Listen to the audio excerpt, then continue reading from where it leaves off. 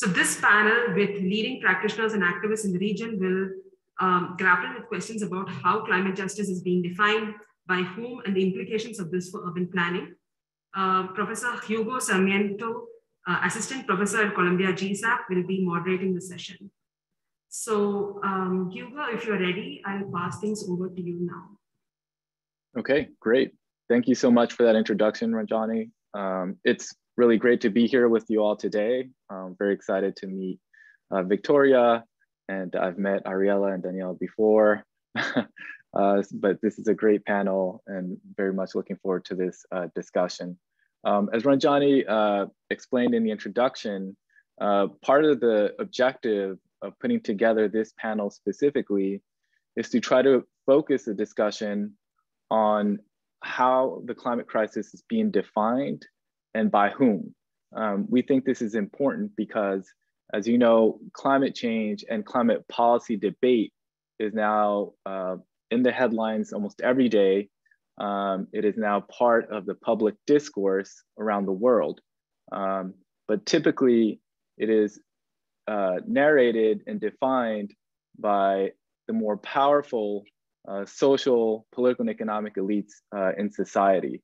Um, so not too long ago, we had the COP talks in Glasgow, where the most uh, powerful and the richest nations in the world were debating what to do about climate change.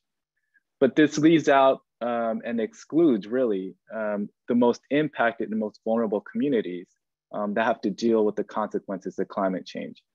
And so we want to today focus the discussion on uh, scholars, um, organizers, um, and professors like you all um, here on the panel um, to try to get a sense of how you think of the climate crisis, how you talk about it, how you define it, and how you understand it impacting the communities that you work with.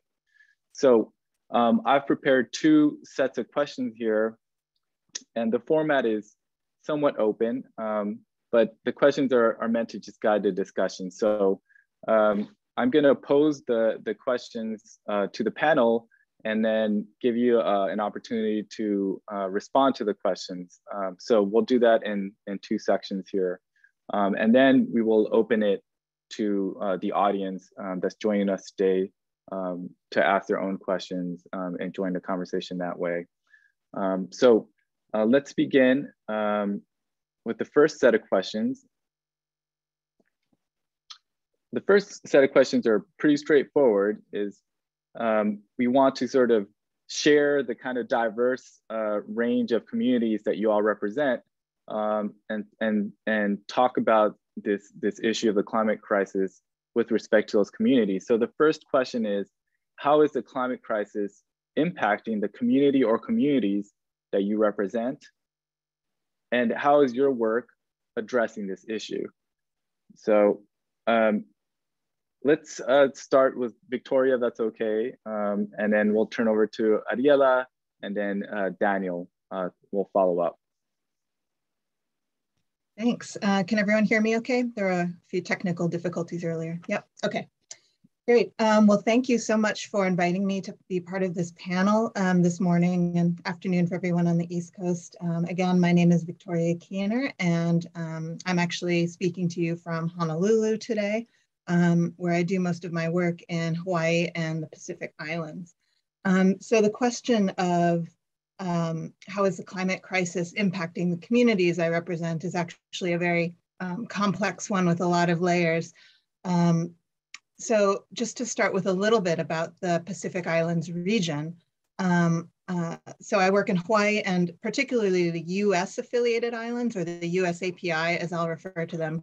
Um, the USAPI are comprised of Hawaii, the Republic of the Marshall Islands, the Commonwealth of the Northern Marianas Islands, the Federated States of Micronesia, the Republic of Palau, and the territories of Guam and American Samoa. Um, so issues of equity in that region really start with the vastness of our ocean region, the diverse geographies within there, the varied governance and socioeconomic conditions, um, the presence of the US military in the history of the region, uh, the climate data that's available, which is not as much as a lot of mainland locations, um, monitoring, which is not as much at monitoring stations, and the, the models that are available. Um, so, um, so, so for example, we have US, um, British, and French colonial histories in the area. Um, again, we have um, a state, US territories, organized and unorganized commonwealths um, in terms of governance, um, and the freely associated states, which are governed by the Compact of Free Association or the COFA. And a lot of this is history that just isn't um, very well known uh, in the in the um, mainland United States. Um, but a lot of um, a lot of what you hear when you when you hear about Pacific Islands being impacted by by climate change first is that uh, a lot of the people who live here in the communities are being out um, uh, disproportionately affected by climate impacts that they did not um, that they did not perpetuate. Um, so um, the other ways that uh, that we're experiencing it include um, high temperatures, especially at um, highest elevation islands. Um, so our highest elevation ecosystems are most at risk of, of high temperatures. Um, sea level rise, of course, all of our communities are coastal and most of the infrastructure is located on a thin band of, of land right next to the coast. Um, uh, precipitation changes, um, those differ throughout the region, but we're seeing generally more extreme rain and more extreme periods of drought, um, which is a big problem across the, the tropical Pacific, although you might not first think of uh, drought in the Pacific as being an issue. Um, and of course, ecological impacts that are cascading throughout um, throughout the, the, um, the community, such as um, coral bleaching and, um, uh, and death and fishery populations changing, um, both size and location throughout the region, and the larger kind of specter of climate and environmental security throughout the region. So um, we have a large military US presence throughout the region because of the Compact of Free Association, and we continue to be affected by um, the US military and um, its actions throughout the region um, and how environmental security is, is plays out with, um, uh, there's a lot of attention on the region because of the future of China's impact in the region. So um, it's all very complex, but that's just a kind of uh, kind of big backdrop and I'll, I'll pass it back to you. Thanks.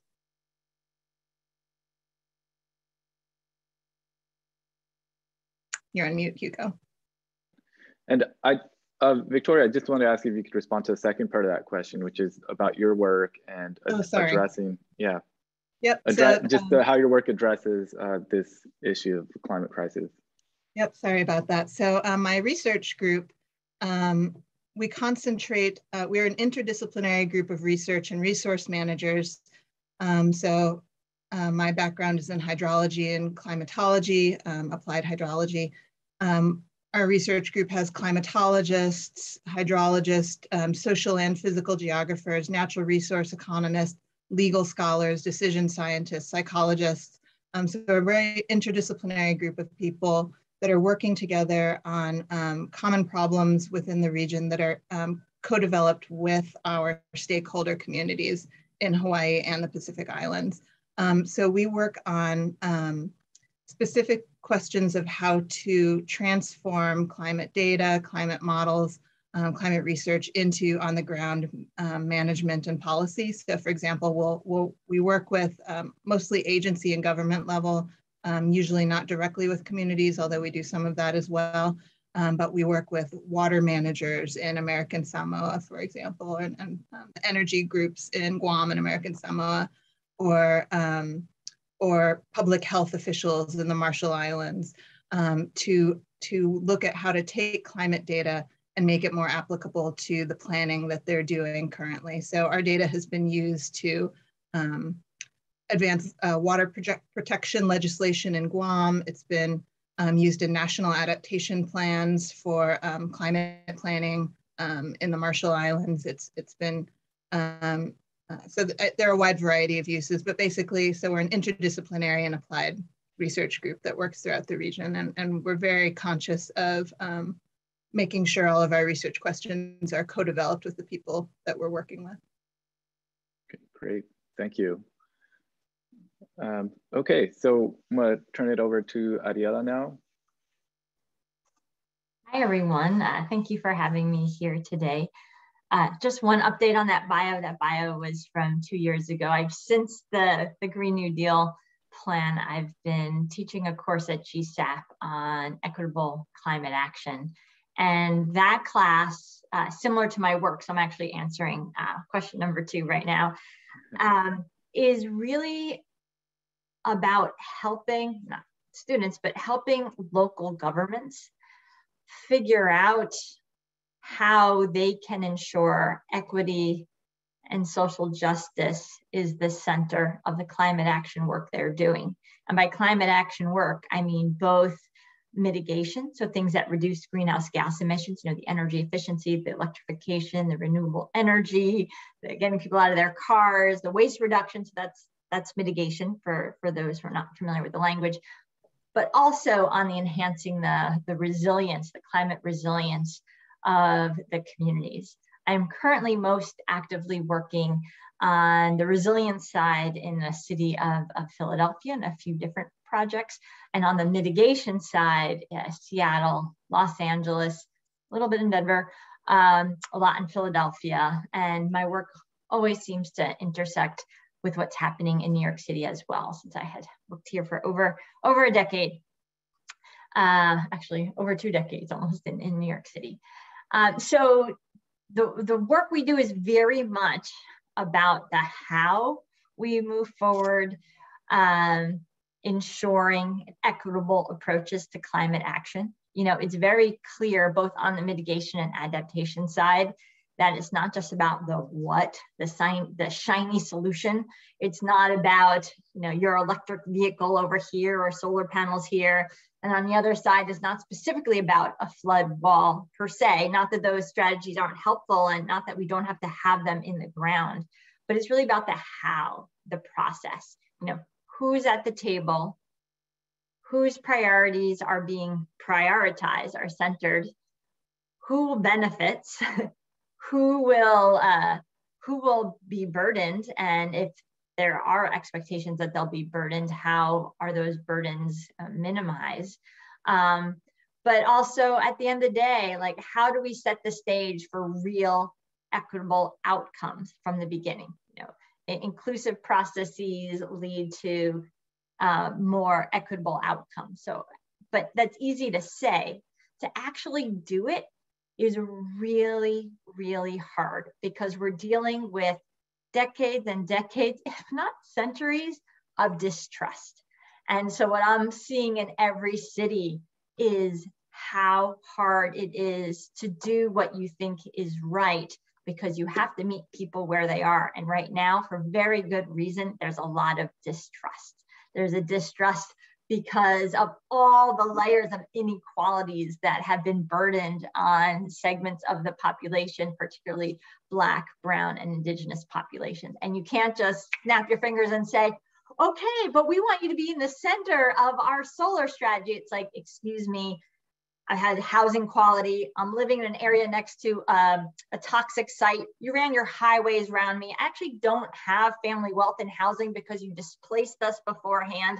My health isn't good. My house is moldy. Like there's a lot of real life urgent needs that need to be addressed. And so helping planners or local government folks who realize and feel that urgency of climate action, like we want to make things better so that the impacts aren't worse, also realize you know what, we have a lot of harm that we need to address and we need to be inclusive, we need to be transparent, we need to be held accountable, and we need to build relationships from scratch. And we're gonna have to work hard to actually build those relationships and the trust.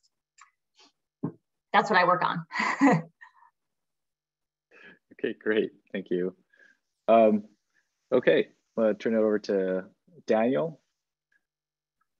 Sure. Thanks, Hugo, and thank everyone for having me here today. It's very much um, a pleasure to be here and speak to all of you and, and learn from all of you as well. So as was mentioned in the intro, I work at RISE, the Rockaway Initiative for Sustainability and Equity out in Far Rockaway in Queens. So for anyone who doesn't know, the Rockaways are a 13 mile long peninsula off the southern coast of Queens in New York City. And it has a fraught history. So if you were to look at the sort of geography and de demographics of Rockaway today, when you come over one of the main bridges into Rockaway at about Beach 95th Street, you can either turn left and go to the east end of Rockaway, or you can turn right and go to the west end of Rockaway. The west end of Rockaway is very much a wealthy community and very much um, mostly a white community, whereas the communities on the eastern end are communities of color. And they have been the communities that have faced the brunt of climate change on this coastal community. And as Ariella mentioned, have a lot of distrust in the government and, and the, the lawmakers in New York City because of decades of, of neglect and, and just, you know, decades of neglect and a lack of resources that have been provided to them. So a little bit of history on the Rockaways. It was a resort community throughout the late 19th century and into about the 1920s, but then it started to decline. It became the area that as highways and, and, and you know, the automobile came into fruition, that and everyone was able to leave the city to go further out to take their vacations and go to the beach and resorts, it became sort of the place to put people that the city didn't want in Manhattan. So as the city got rid of, of housing and apartment buildings in Manhattan to build places like Lincoln Center, the people that were displaced because of that were sent to Rockaway against their own will. There, they tried to build, you know, generational wealth and, and homes, but did not were not provided the resources that they needed to to have that to their fullest potential. So we're working in a community that has just really not been the, the focus of New York for a long time. As a coastal community, climate, the climate and a changing climate was always at the forefront of people's minds, but less so before about 2012. 2012 was really a turning point where the general public was brought into the conversation much more. And that's because that's when Hurricane Sandy happened. So that was one of the biggest devastations to the Rockaways after a sort of renaissance started to begin in the early 2000s when new shops were opening and more economic opportunities were coming to the peninsula. But 2012 came along, Hurricane Sandy happened, and communities were devastated. The boardwalk was lost. Generally, generational wealth that was you know, starting to be built up, people lost their homes and lost most of their belongings. And it became sort of a wasteland for a while until it could get back on its feet. Hurricane Sandy really showed people that we are a coastal community that needs to bring climate change to the forefront and educate as many people as possible as quickly as possible. And that's where RISE comes in. So RISE works in the Rockaway communities in a number of different ways. We're based in Arverne, but we also do work in Edgemere and Far Rockaway as well. We work across the peninsula, but Arverne, Edgemere, and Far Rockaway are sort of, you know, that's our home. So we're working with the communities that are there. One of our biggest, you know, our bread and butter is youth programs. So we have a youth program called ShoreCorps, and that youth program engages local high, high school students to work on climate issues as well as civic issues and youth leadership skills. With the Shore Corps, we have hosted a number of community events along the peninsula to enhance our shoreline. So as a coastal beachfront community, our beach is always under the threat of erosion. So we've had to do, what we've done is planted about 10,000 sprigs of beach dune grass along, along the, the shoreline, as well as over a thousand trees and shrubs in order to bring back our dune system. So you plant these, these shrubs and grasses on the northern side of the boardwalk. And once their roots build, grow deep into the sand, it creates a green infrastructure that can build up that dune, which then protects communities from storm surge during, during events like, like hurricanes and, and tropical and tropical storms. So on Beach 25th Street, we saw the result of this. That was the block that was most built up with this green infrastructure before Sandy. And it was one of the blocks in Far Rockaway that faced the least amount of flooding during that hurricane. So that's one of our big pushes with our uh, ShoreCorps students, as well as with the local community, because we always invite the local community to come out to these plantings, be a part of it, and get their hands in the sand. After Hurricane Sandy, we also held a number of different talks with uh, climate scientists and, and officials from all over the world from you know from from the netherlands where they're dealing with flooding on a regular basis. Um, we invited professors, scientists, and, and policymakers to come to Rockaway and present to the local community to educate them on how they can prepare for a rising sea level and more severe storms, but also for everyday flooding, which is probably one of which is probably the biggest threat and biggest challenge that people on the eastern end of Rockaway face on a daily basis. So even if there's just a light rain even sometimes when there's not rain, just during a high tide, the streets will flood and cars will have to wade through two to three feet of water. People getting off the subway will have to find a different way to get to their location because they can't cross the street when they come off the subway. So we have been working with organizations such as the Science and Resiliency Institute at the Jamaica Bay Wildlife Conservancy to document this flooding and then figure out ways that we can work with the city to, to change some of the infrastructure to help drain that water as it's coming in. We're also currently, this is probably our biggest push at the moment, working with a lot of developers, but also the city on new development projects that are happening in Arverne, Edgemere, and Far Rockaway. Arverne East is the, the largest undeveloped coastal plot of land in Queens that has not been developed. And that land, after decades and decades of it being just a wasteland where people can throw garbage, the streets were not paved, the sidewalks were not paved, it's finally being developed by um, a number of different uh, private developers, the biggest one being L&M Development. RISE is working with them to establish a, a, a plant, um, a not a plant nursery, a, a sort of uh, natural park system that can that can absorb water when when the floods come in.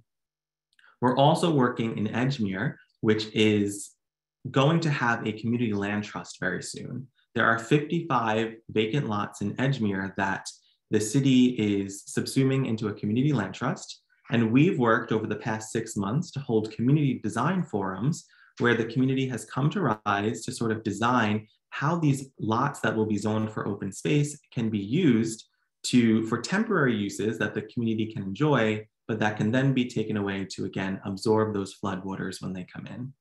We're also working in Arverne on one other lot to develop an, an open space site with that will focus on arts and, and lighting and, and a place for people to gather and talk to each other.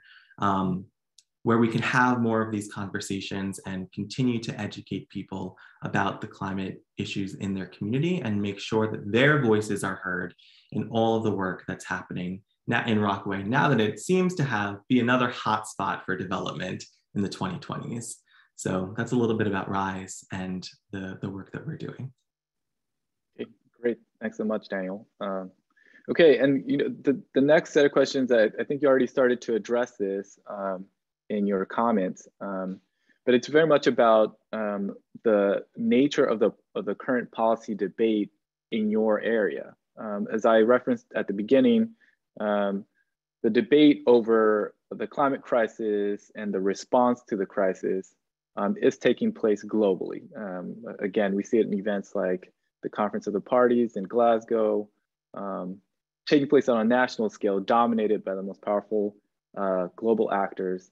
Um, it's also taking place at a national scale. Um, you know, recently there was a debate around the climate bill and the infrastructure bill that was eventually passed, um, which has some provisions designed to address um, uh, the changing climate.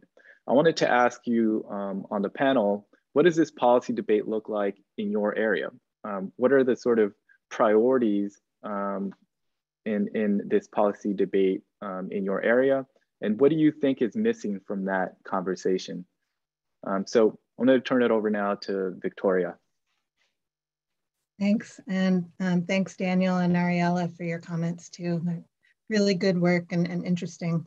Um, so in thinking about this question, um, you know, again, it's going to be very specific to the Pacific Islands, um, but I think that's kind of, you know, the, the perspective that you're looking for, how things are, are different um, in other places. But one of my other roles, um, besides all of the, the research work that I do and, and um, is I'm appointed to the City and County of Honolulu Climate Change Commission. Um, and so I'm one of five, um, five experts that sits on this commission, is appointed this commission to um, provide uh, recommendations to the Honolulu mayor, city council and departments um, kind of about the localization of climate impacts on the island of Oahu, which also functions as a county. Um, and so in that, um, I've, I've been appointed for, seems like forever, but maybe three years now. Um, one, of, one of those years, um, I chaired it. So it's a five-year term, and we've been asked to provide, um, we've been asked by the city to provide input on sea level rise planning, um, on uh, setbacks, so uh, the, the distance um, that you can build from the shore and the regulations gathering uh, surrounding that. Um, we've been asked to provide um, guidance on climate and financial risk planning for the city. Um, and then we've also provided guidance that was not solicited from the city um, on um, equity and adaptation processes. We've also provided input on um, the social cost of carbon at a city scale and how to implement that.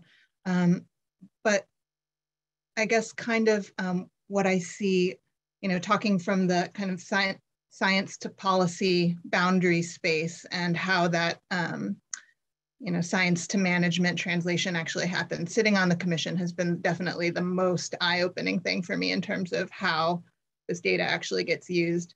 Um, and a lot of it is having somebody at the top who is open to incorporating that information into planning. Um, and I, you know, you can be shocked when um, how quickly things can happen when you have someone at the top um, who is ready to go with a lot of these. And if you don't, it just will sit there no matter how many recommendations, no matter how many um, official committees and commissions there are that are recommending these, um, these measures. Um, so I think that some of what is uh, missing from the conversation is kind of um, a true sustained uh, desire to kind of transform how society addresses climate adaptation, how communities and organizations um, become more resilient by getting more resources, both um, financial and human. Um, we, we don't have as many people throughout the whole Hawaii and Pacific Islands region as a lot of other places. So, you know, we can be short on human capital as well. Um, all of the, the different agencies and departments that we work with are always um, short on people that have that you know, they have 16 other jobs and they're being expected to integrate climate change, adaptation, and mitigation as well. So there's always that, um, um, that uh, gap. But the other thing that I wanted to mention was the difference in access to um, funding throughout the Pacific Islands region. So um, the US affiliated Pacific Islands do not have equal access to federal funds that can reduce um, risks at those community levels and make for example, infrastructure more resilient to the impacts of climate change. Um, and that's because of our different governance um, throughout the region. So we have a state, Hawaii, um, two territories, Guam and American Samoa, um, and then the freely associated states, which are kind of on their own in, in terms of um, being able to access um, different, uh, different monies. so in terms of FEMA, which is a big funder for infrastructure climate resilience project, Hawaii and the territories can receive FEMA money um, but the freely associated states cannot. So that's already one type of inequity that we're seeing that's not being addressed um, adequately. Um, and another one is within actual um, disbursement of FEMA money. So some of you may be familiar with the BRIC program within FEMA, which is uh, building resilient infrastructure in communities. And it's how a lot of um, uh, climate resilience and infrastructure money gets pushed out to doing specific projects in communities um, hazard mitigation projects, and, it, and it's nationwide, um, but again, not in the freely associated states. So in um, the FY 2020, BRIC funds were distributed quite unequally um, with I believe 94% of the total available funding being awarded to projects on the mostly urban East Coast. Um, so the, the counties in Hawaii um, submitted 13 applications to the national competition for the funding um, in 2021 and none were funded. And so um, this was uh, because when we dug into it, a lot of the, um, uh, without updated um, IBC and IRC codes, so building and energy codes being up to date, Hawaii, Guam, and American Samoa are really not competitive at that federal uh, program, which is intended to equalize communities' access to resilient and safe infrastructure. Um, so we were really seeing that without this, you know, I think it's minus 40 points automatically for not having your building codes up to date, your energy codes. Um, and so we were not able to access any of this infrastructure money while the freely associated states in this case are excluded completely. Um, so in terms of, you know, um, what, what might be missing in terms of policy in this region, it's pretty, um, pretty universal across Hawaii and the Pacific Islands that climate adaptation and mitigation is, you know, the number one um, threat that that governments and communities are looking to deal with um, in the long term. And we're not able to get access to a lot of the um, a lot of the resources out there that would help bring a lot of the communities and, and different islands up to um, up to par in terms of um, being able to prepare. Thank you. Um, okay, I uh, wanted to turn it to Ariella.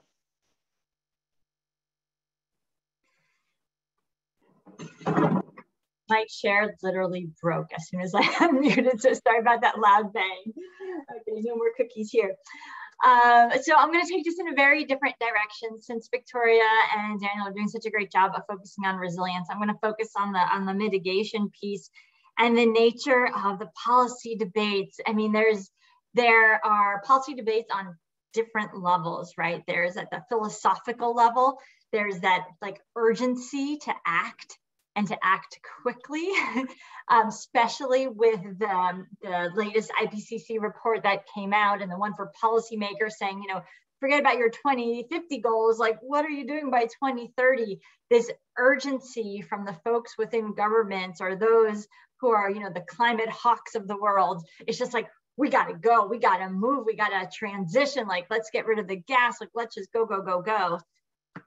And then there's um, then there's community. And then there's folks who are, as I mentioned earlier, are dealing with real life urgent issues related to having safe housing and affordable housing and mobility concerns and health concerns. And they're like, excuse me, you're going to keep moving quickly. You're going to keep the existing economic systems in place that have continued to not only leave us out of the opportunities, but also continue to burden us with the unintended consequences of you trying to move quickly.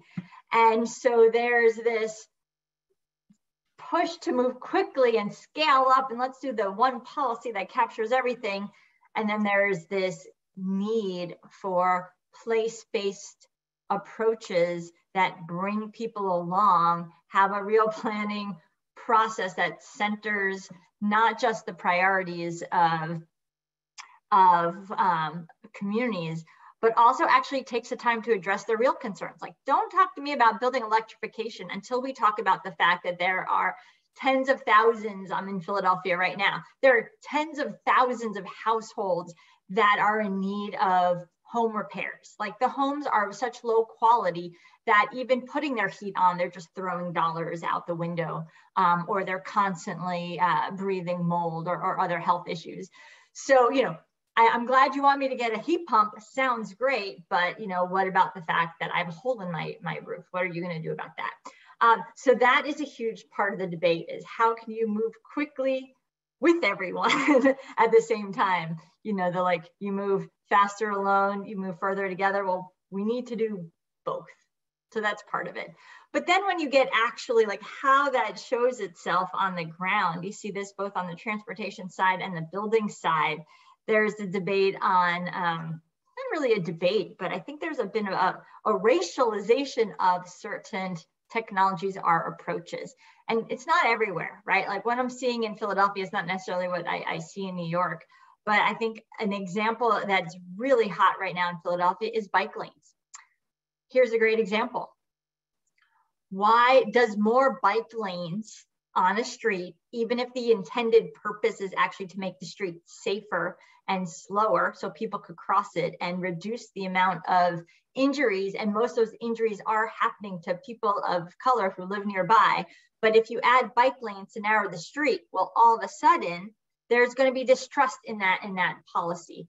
Um, so I'm, I'm completely generalizing, but this was a real life example on Washington Avenue here where there was like two years of, of community outreach and processes and stakeholder engagement that came up with these different scenarios for a road. And at the end of the day, the one that seemed to optimize the outcomes for the most folks, it had more bike lanes and right away uh, there was there was there was pushback and it was thrown out.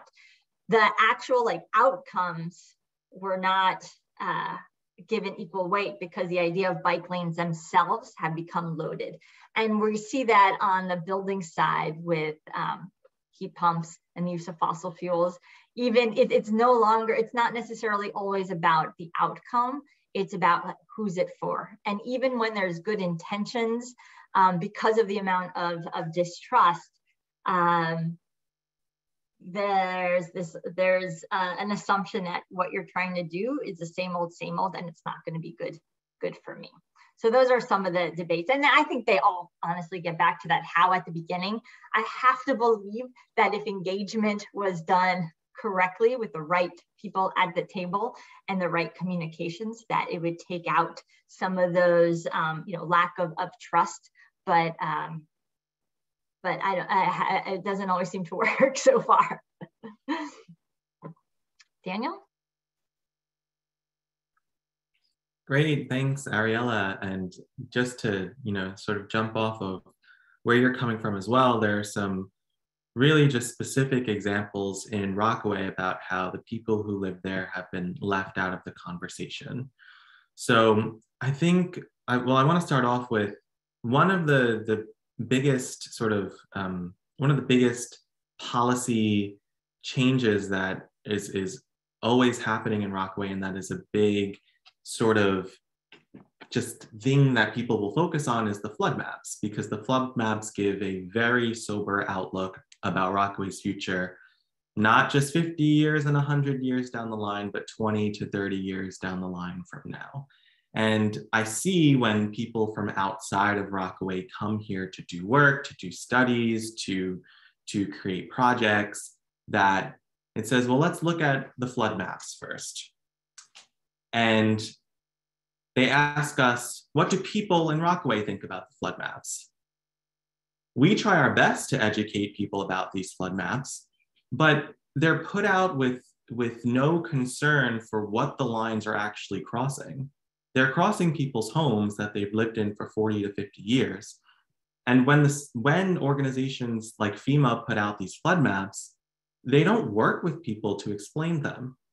They just throw them out to people and expect people to understand them and what they mean and what that's going to mean down the line for people. But if a person isn't looking at maps as part of their daily job and interest every day, those maps are really hard to understand.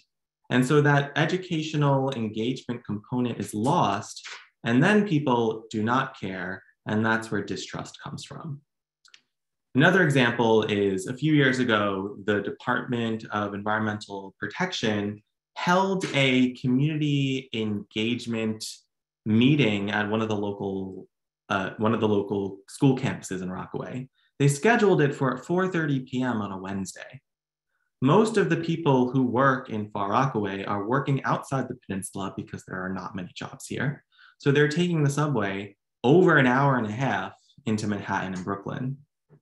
If they're getting out of work at five o'clock, they're never going to make it to the 4:30 to 6 o'clock meeting that was scheduled about a pipeline off the coast, less than three miles from their home, to have their voices heard. And that just breeds more distrust in this community. Another very current example, the Arverne East development. Community members who came to RISE's community visioning and Edgemere process these last six months have continually asked RISE, when are we gonna be able to have our voices heard about what's happening in Arverne East? We have a lot of concern as homeowners, as NYCHA residents, and as climate activists ourselves. I'm not the main project manager for Arverne East, but my coworker who is, every meeting she goes to with the developments and the governmental agencies involved with Arverne East, she says, when is the community engagement process happening? And they say, we'll let you know next time. We'll let you know next time. Well, these people need to have their voices heard and learn about what you want to do in their community. And without that, no real change is going to happen. The distrust is going to stay. And these issues of climate change and resiliency are not really going to be, are not going to matter to the people who live there because they didn't have a chance to, to speak about it and give their thoughts and tell people about their daily existence and the, the, the, the, the experiences they have every day just leaving their homes. So it, it's really weird to see that that disconnect, which has been talked about for so long, and to work with a lot of agencies who don't want to make headway on that front, when that is a really big core piece of, of all of this work. For RISE, one of our main goals during all of our projects is just to give people the tools to advocate for themselves. So community visioning in Edgemere you know, the main goal was let's figure out how we want to design these spaces with temporary structures so that they can still help us during flood events, whether that be a storm or everyday flooding.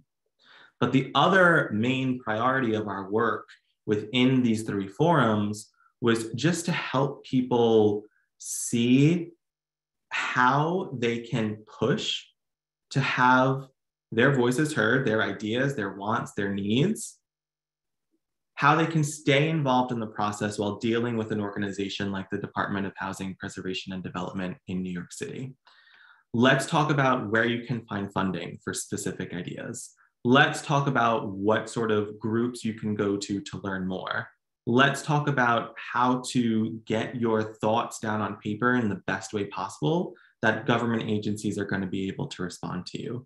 Let's make sure that as the Community Land Trust is coming to fruition, that it's not given to someone who doesn't know or understand Rockaway, but that it's from someone within the community because there's been two to three groups that have submitted applications to be the nonprofit that's going to manage that community land trust. Our goal is always to make sure that people can advocate for themselves and their communities, maybe even more so sometimes than the specific plans and ideas we're coming up with. Because as long as people feel like they can be engaged, then they're more likely to be.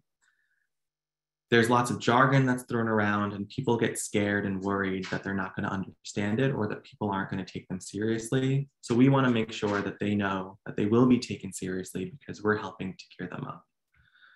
So, that's one way that RISE is trying to tackle this sort of policy disconnect between the people making the plans and the people being affected by the plans. Great, thank you, Daniel. and I have one last question here. Um, and you know, this conversation so far has been really interesting. I, I, th I, think of some of the themes that are emerging from the conversation here um, in terms of um, exclusion um, of, of, certain communities from the policy debates. Um, uh, in, in the case of uh, Victoria, I, I, think of the context of this colonial uh, relationship between the U.S. and Hawaii and, the, and some of the Pacific Islands you uh, work in, um, and the kind of uh, lasting effect of that uh, relationship um, present in the interaction between um, Hawaii and institutions like FEMA um, and HUD um, that provide resources um, for responding to the effects of climate change.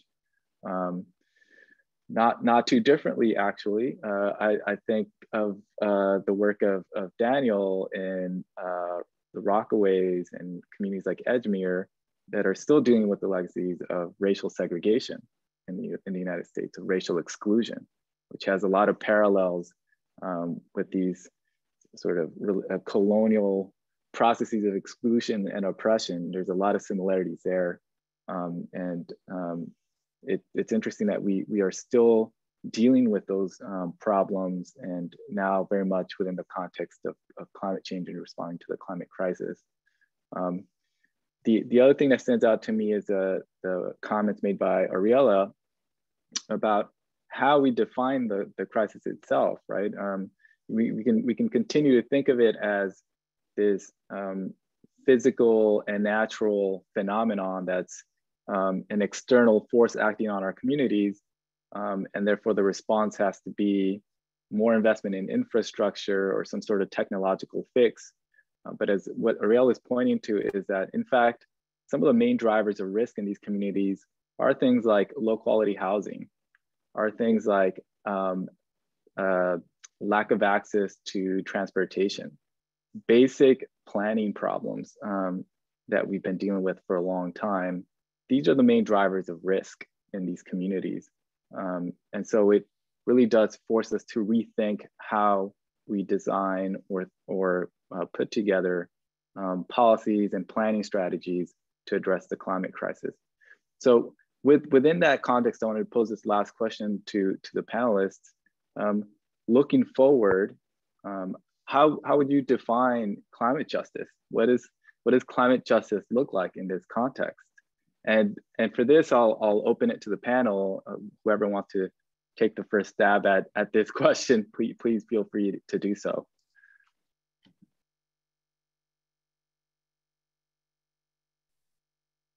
I think someone else should go first this time. okay. Sure, I, I can jump in. Uh, I'll keep it uh, brief and short.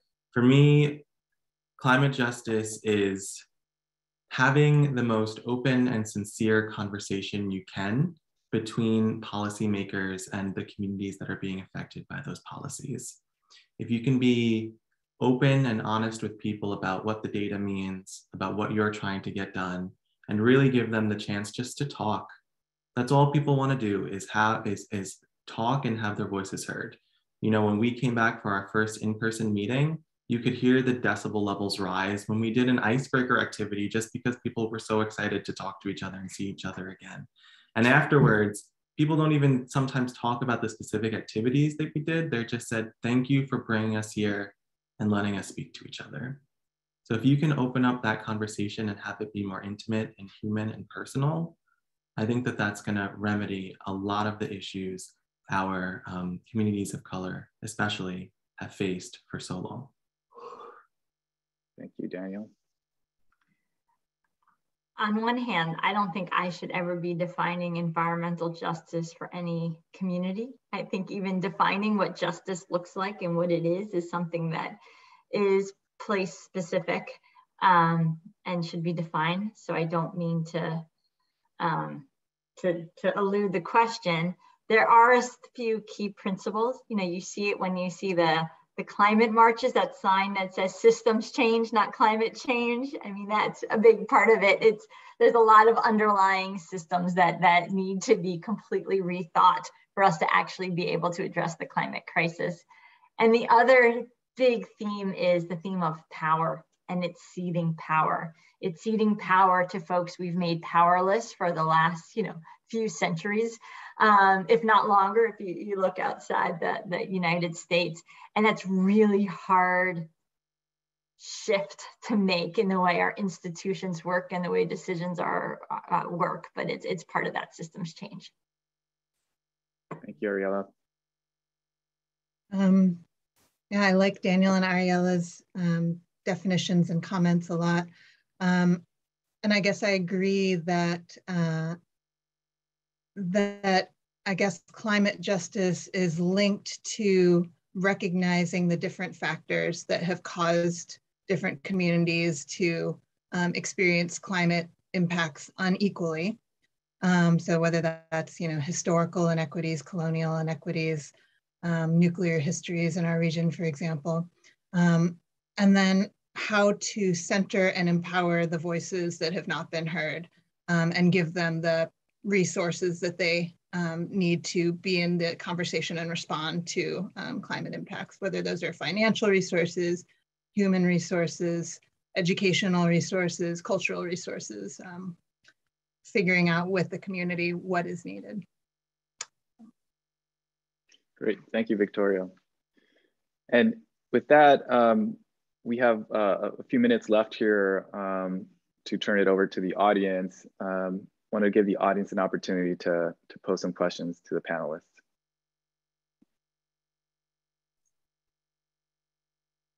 Yeah, um, thank you all for your insightful comments. Um, I can read out the questions uh, that are in the chat.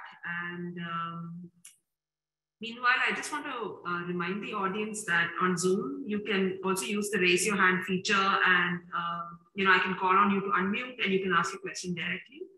Uh, but meanwhile, I'll, I'll read out the questions in the chat.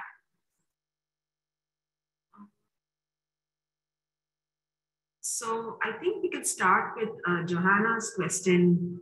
Um, so she writes, uh, Ariella, you mentioned two years of engagement for the bike lanes that were ultimately not successful in delivering bike lanes.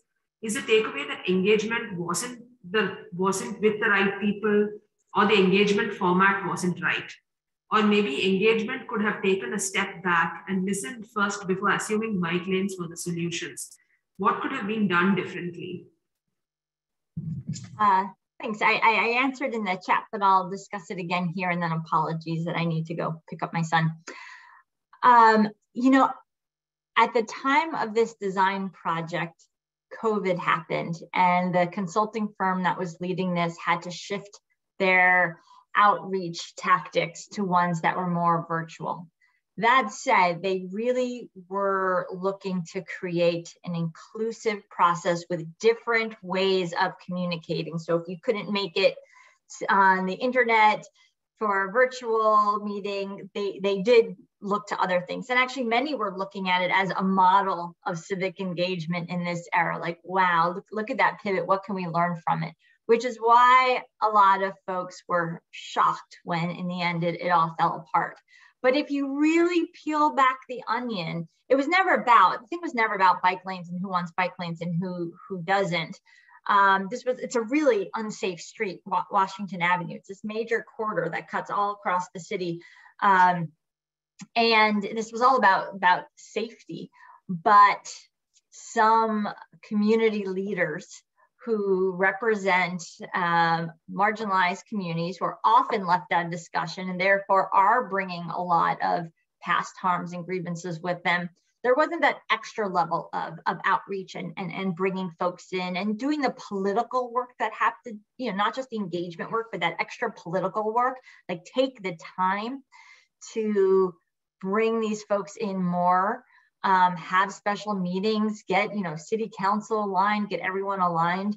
I think that would have made a process, and that's hard to do. You know, one thing that philanthropy doesn't fund and city government doesn't fund, and other we don't fund enough of the space to have those conversations. It takes a lot of resources and a lot of time and a lot of people to be able to engage appropriately. And it's usually the least funded things. It's easier to fund, you know, um, a, a, piece of something than it is to actually fund a person whose job it is to be a connector and do that extra bit of, of, of outreach. And again, apologies that I have to, to leave, but I'll follow up with Hugo to hear all of the, the great comments that I'm sure you all have. Thank you, Ariella. Thank you. Um, um, would you like to add anything to that or um, should I go on to the next question? Um, I, I, think we should go on. I want to give others an opportunity to join the conversation. Yeah, I think I'll go to the next question, which is actually my question. Um, so um, I guess I, I um, sort of frame this question for Daniel, but uh, Victoria, I think you too might uh, be able to shed some light on this. Uh, but this is basically related to uh, Daniel's, uh, you know, discussion about the the illegibility of uh, FEMA maps to communities and the need for like further community engagement. So I was wondering, um, I, am not familiar with the US context, but I was wondering about the processes that go into the production of these maps is there um, a mismatch between the way risk is defined by institutions uh, vis-a-vis the way communities identify risk, um, you know, and the timeline that um, sort of institutional uh, definitions uh, hold versus uh, community definitions. Um, so if you could just comment on that. Sure thing. Yeah. So I can't speak too much about the the physical production and and what goes into making that too much on that side specifically. But I do think there is somewhat of a mismatch between how it's defined by the two different groups. You know, we talked about how there there's these projections years down the line, not so far, 20, 30 years, but still years down the line, whereas people are dealing with daily problems and experiences that aren't being addressed every day, just as they're trying to get to work or to school or etc. So, you know, always referring to the maps, even though everyone in the community knows about the risks and understands that 20, 30 years down the line, you know, we're going to be having a completely different kind of conversation. To just say, well, this is what we're worried about and not what's happening today is really hard for people to hear because it just compounds that distrust and the neglect that they felt for so long. And, and again, a lot of these maps, uh, the organizations that are putting them out are not really just you know having a workshop where they can explain people exactly what they mean talk about where the data came from and what this means in terms of, of flood insurance you know? People just see the number the the prices for their flood insurance going up and are wondering like hey why wasn't i told about this? Like why is my bill so much more? And then you know the worry is is my only option 20 to 30 years down the line to move?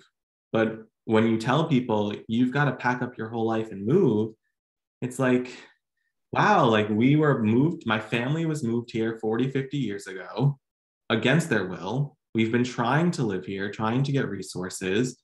And now you're saying we have to pack up and move again. Like there's no empathetic conversation that's happening there. It's just sort of like the data says this, so do this. And, and people don't get a chance to just say like well this is how i feel about that and is there something else that can be done? Like maybe if you hear from us you we have ideas ourselves listen to these. And also if, if we talk to each other maybe there's something else that we're not thinking of that can happen. Um, so i just think these maps that are thrown at people is really hard for people to grasp and understand when there's so much more room for an intimate empathetic conversation that's not yet happening I'll add um, a little bit to that and um, more on the on the data side. So again, I don't know exactly how um, the maps are always produced with the, flood maps by FEMA, but I know that um, it's always a um, contentious conversation and the maps are not forward looking in terms of projected climate impacts and sea level rise impacts. They're based on historical data and historical flood maps, which are already um, you know, in many cases outdated. So I, I think there's actually, um, I think that FEMA did an experimental uh, sea level rise projection map for um, areas impacted by Hurricane Sandy after the event, um, but those are experimental. And um, although they exist, they're not um, incorporated into um, flood map, you know, pricing and insurance risk and things like that. They're really for just, you know, people's own use. So I think there is a mismatch, um, you know, both between the ways risk is defined by institutions versus communities and the way it's defined um, between um, the institutions that have financial stakes in those maps, like flood insurance or insurance overall reinsurance, and um, and the institutions that are making those maps um, and what they're able to put in them. And then again, there's another conversation um, about um, the use of uh, different kinds of social vulnerability indices. So there's, um, um, you know, I'm, I'm, not an expert on this at all, but I know there are a lot of, um, there's a lot of debate over the appropriateness of different kinds of social vulnerability layers and how they're overlaid on different communities um, and uh, used in terms of determining risk. Thank you. That was very helpful um, I think it's always interesting to sort of gain a, you know, bottom uh, up and top down perspective at the same time about how these uh, systems sort of interact on the ground. Um, Lincoln's question. Um, so the question for the panelists, um, how do you fa facilitate discussion on the trade-offs of mitigation versus adapt adaptation investments with stakeholders um, the short term rewards versus thinking long term. Um, and then he says, thanks for the great uh, tacit knowledge, uh, knowledge examples of engagement for climate justice.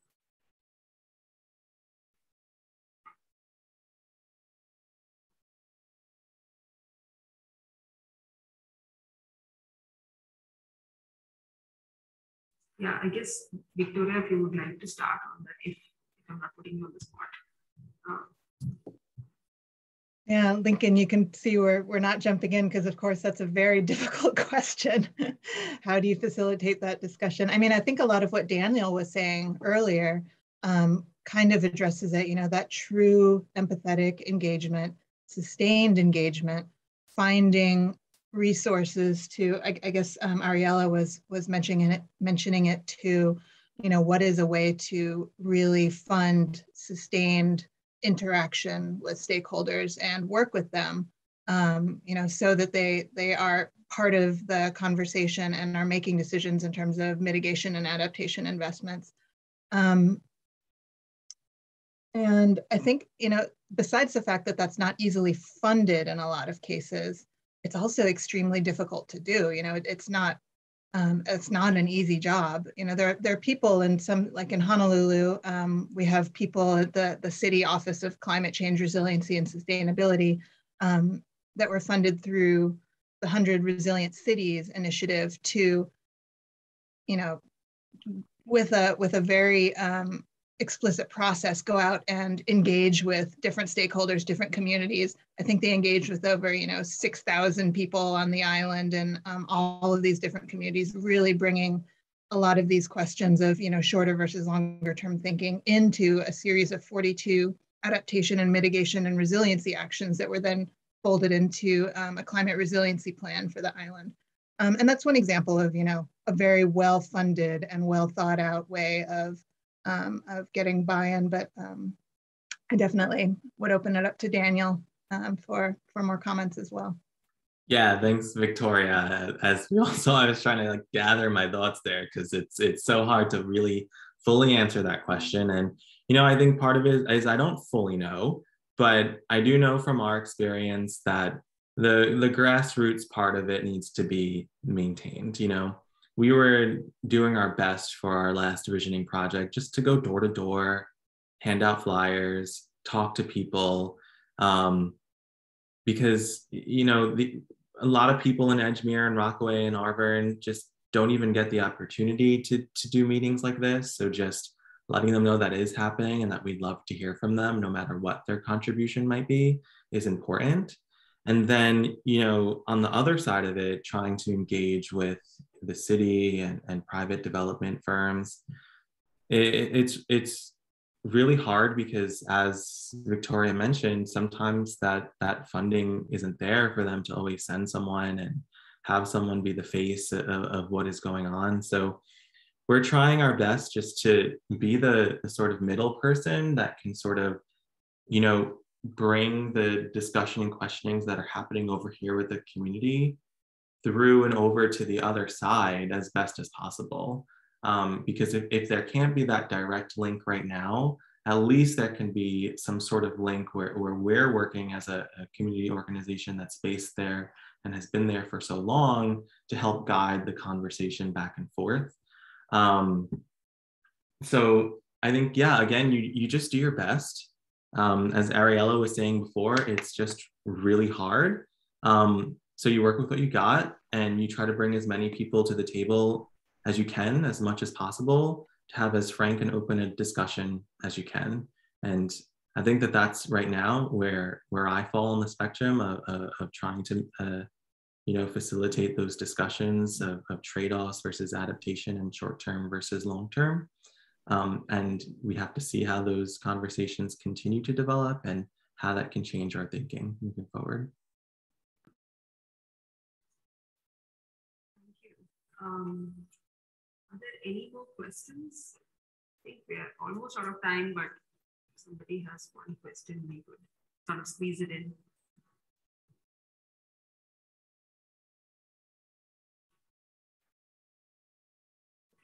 Uh, if that's all, uh, yes.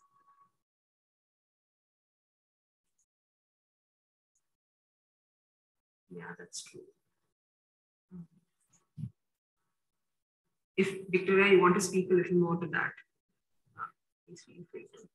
Um, I think it's, uh, yeah, just my comment that, um, you know, it, it's, we're talking again and again about being inclusive and getting the right people at the table, but we are all so overtapped, you know, everyone from academia to organizations to communities to parents to public health, like everybody is dealing with so many balls in the air that asking them to come to another meeting or make time to engage on a new problem that they hadn't thought about before is a lot to ask. So, you know, being conscious of, of people's times and overtapping stakeholders who um, have so many things on their plate, I think is, is something that we're all conscious of and need to be conscious of.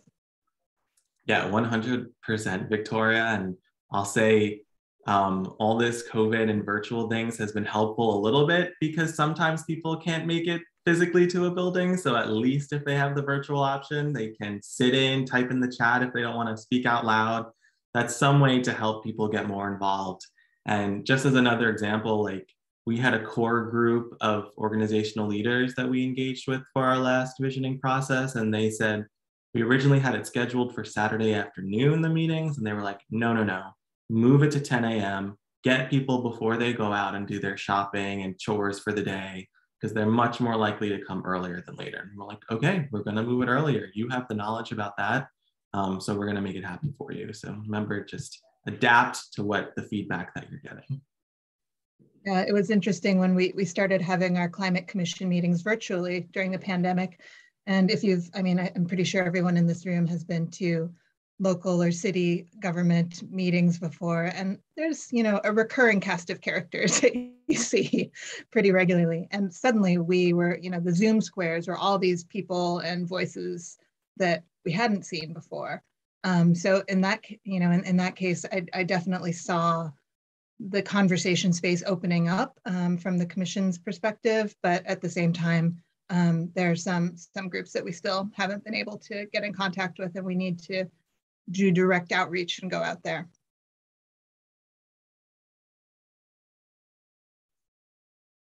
Thank you. Yeah, that's that's very insightful. Um, and I also wonder whether people see uh, the COVID crisis as a sort of continuation of, uh, you know, the climate problem and how these things are sort of intertwined also at some level. Um, yeah, but I think we are almost out of time. So, um, Hugo, if you have any uh, closing remarks. Yeah. yeah, well, we're, we're at time here. And so uh, I just wanted to thank, first of all, I wanted to thank um, the panelists for joining us today, for making the time. On that note, recognizing how busy everyone is and how you're pulled in all these different directions. We very much appreciate your time and uh, your presence with us here today to have this really important conversation. Um, this is, as, as uh, was explained earlier, part of a series of talks um, where we're really trying to kind of engage um, the discussion around the climate crisis from different angles. Um, and this one being a really important one, sort of trying to center uh, some of the communities um, that are often overlooked um, in this discussion. And so thank you so much, Victoria. Thank you so much, Daniel. Um, we look forward to staying in touch and learning more about your work as it develops. Um, and then last, uh, I want to say thank you uh, to the organizers of the event, to Ranjani, Carolyn, and Elena, um, our incredible doctoral students at GSAPP um, who are organizing uh, this series of events. Um, this is another great one, and uh, I look forward to the next one. Thank you all for having me, and um, see you next time. Thanks so much, Hugo. And uh, yeah, thank you to the panelists uh, on the behalf of GSAPP and Urban Planning Program in particular. Uh, we really appreciate you taking out the time to come and uh, speak with us. Um, and to everyone else, make sure uh, to join us next week. Um, sorry, next week is the spring break, but after the spring break, um, for our next lip talk by uh, Dr. Ines Sanchez de Madariaga, uh, whose talk will be on gender and planning from research to implementation. Um, thank you, everyone.